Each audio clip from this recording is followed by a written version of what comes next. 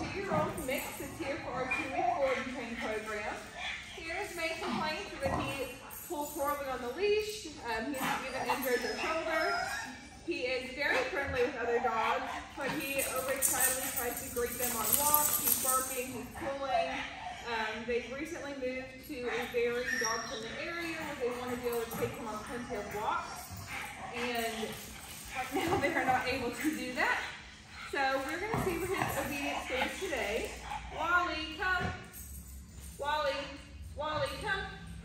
Good. Wally, sit. Wally, sit. Good.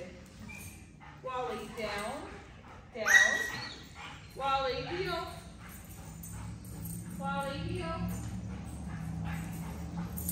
Alrighty, so that is where we are starting. Um, he's going to be trained on and off leash over the next two weeks, so check back in to see everything.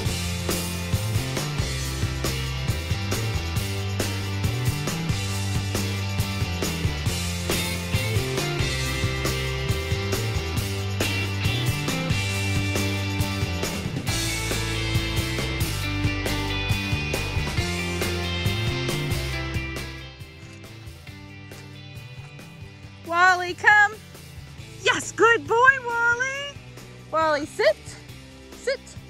Wally, break.